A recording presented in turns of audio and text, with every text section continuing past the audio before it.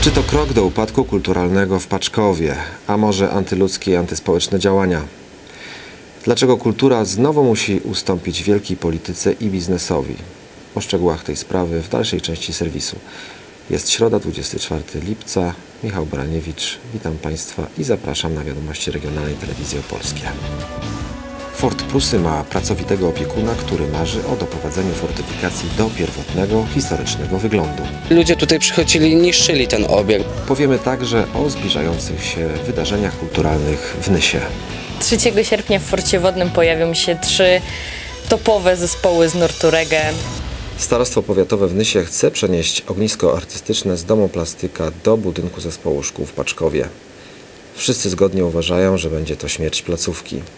Autorzy paczkowskiego portalu informacyjnego mówią nawet o likwidacji pod pozorem przenosin. Aż trudno uwierzyć, że placówka z taką historią za chwilę może przestać istnieć. Działalność ogniska artystycznego w Paczkowie trwa już 44 lata, a w samym domu plastyka aż 23 lata. Artyści dostali kamienicę na paczkowskim rynku w opłakanym stanie i po trwającym 6 lat remoncie dostosowali ją pod własną działalność. Konserwator zabytków przygotował projekt na pracownię, salon wystawowy, zaplecze i małą część hotelową, aby móc organizować plenery i spotkania. Czyli 23 lata temu, zawsze temu jest pełną odpowiedzialnością.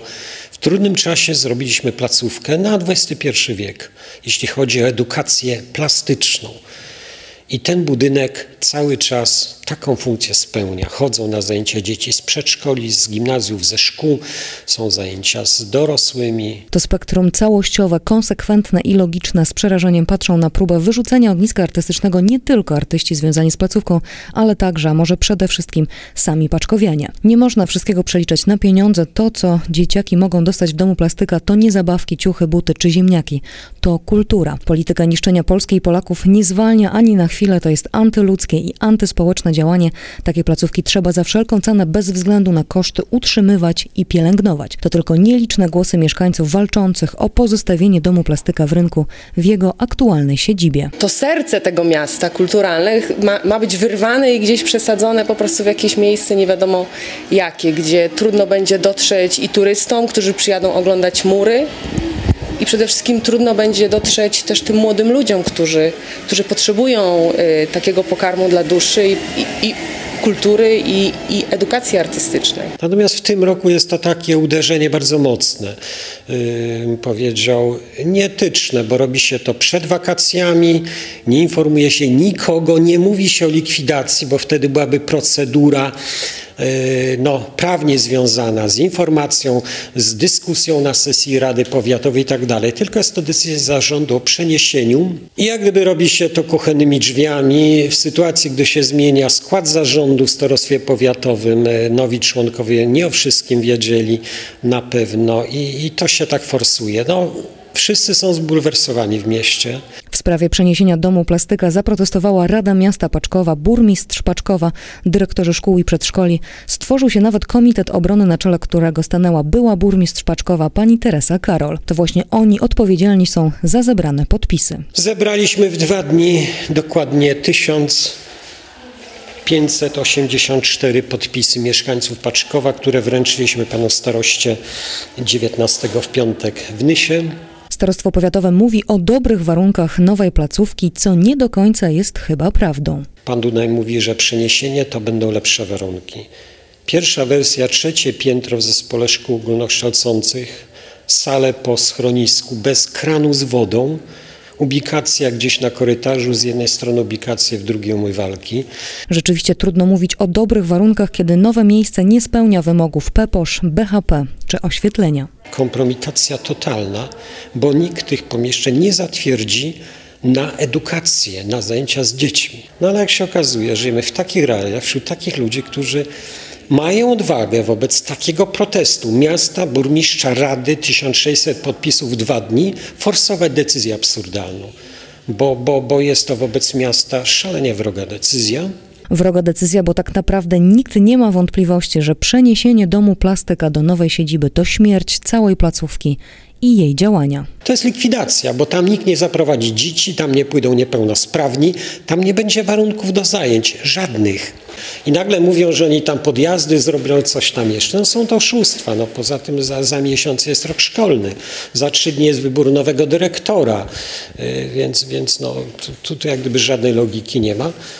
Stracą wszyscy. Ale w, w mieście.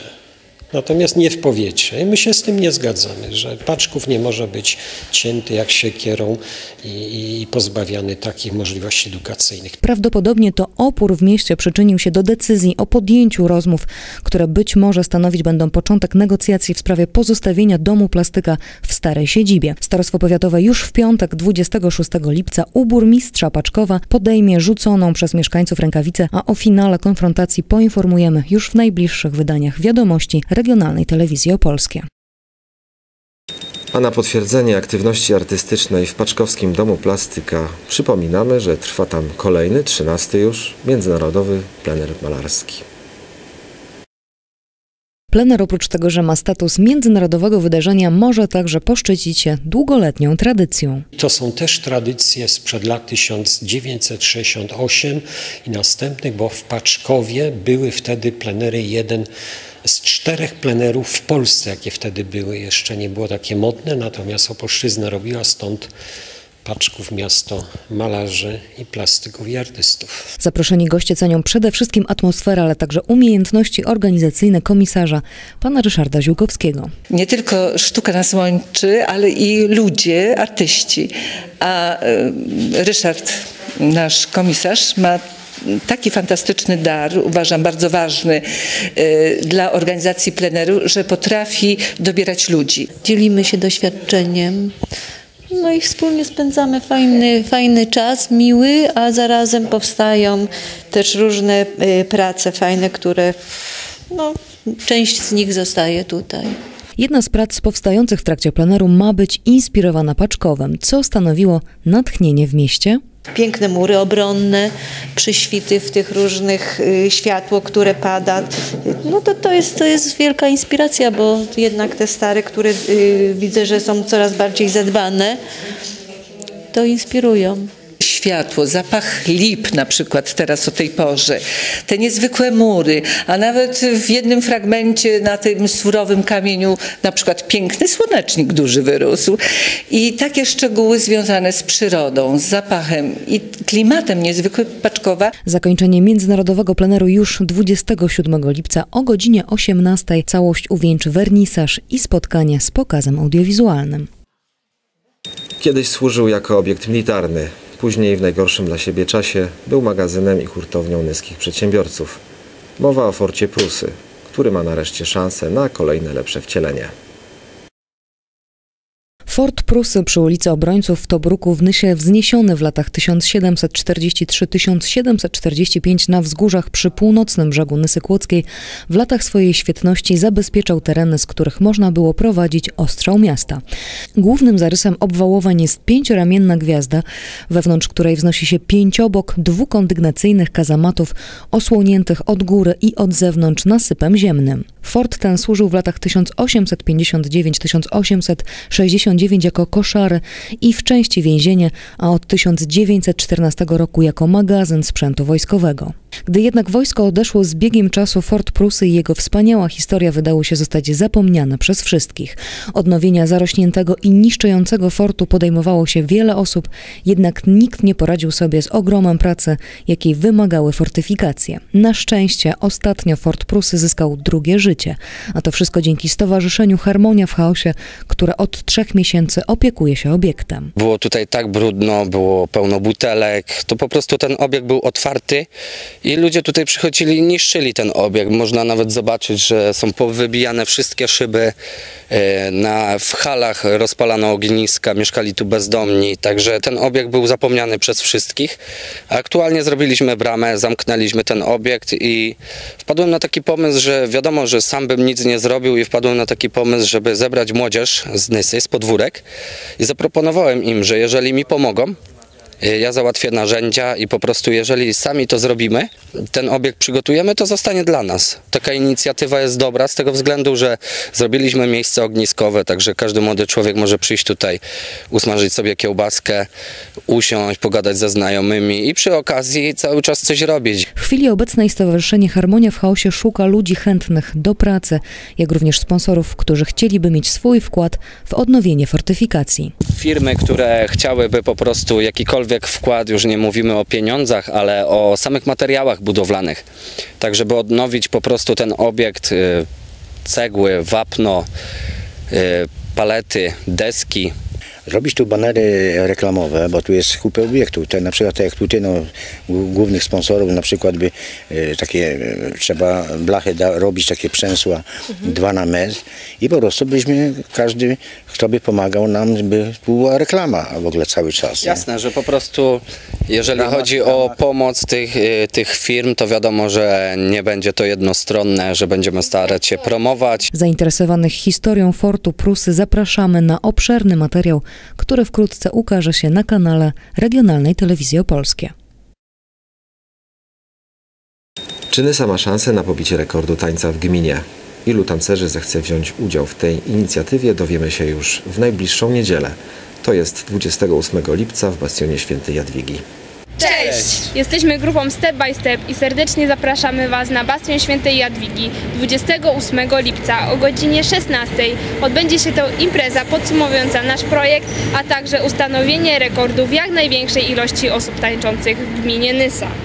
Prowadzącym imprezy będzie Marcin Turski, gwiazda serialu Do Dzwonka emitowanego na kanale Disney Channel.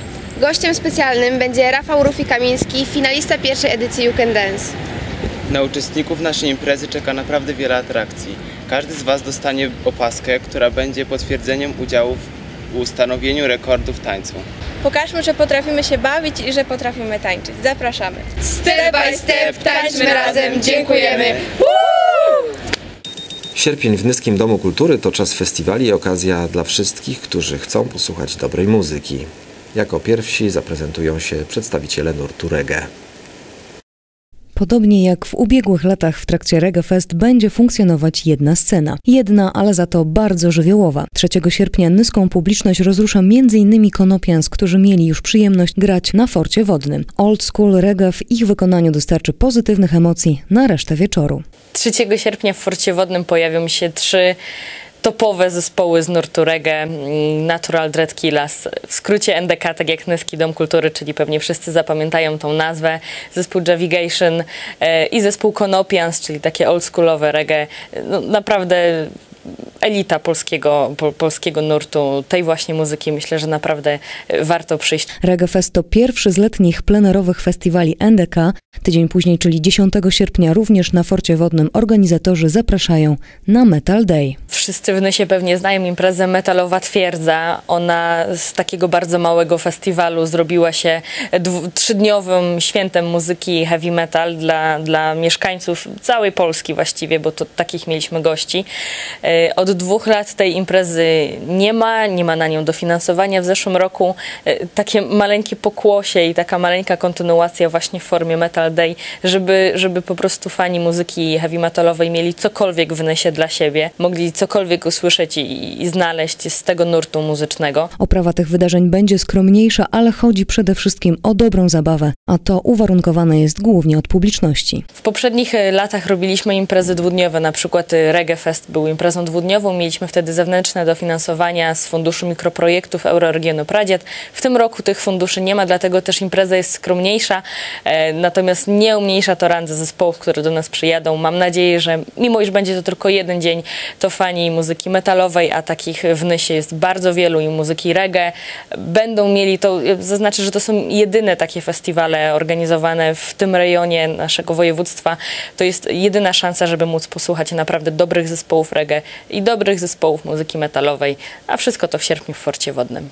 Wstęp oczywiście bezpłatny, tak samo jak na czterodniowy międzynarodowy festiwal folklorystyczny Folk Fiesta. Impreza aspirująca do miana wizytówki Nysy startuje 15 sierpnia. Przy współpracy z Nyskim Stowarzyszeniem Ad Astra udało się pozyskać środki finansowe, dzięki czemu do Bastionu Świętej Jadwigi przyjedzie ponownie kilkuset wykonawców. Podczas ósmej edycji festiwalu zaprezentują się zespoły m.in. z Meksyku, Senegalu, Izraela, Węgier i Stanów Zjednoczonych. Szykuje się świetna zabawa, a na relacje z imprez zapraszamy do regionalnej telewizji opolskie. To wszystko, co przygotowaliśmy na dziś. Dziękuję Państwu za uwagę. Widzimy się już w piątek, to jest 26 lipca. Do zobaczenia.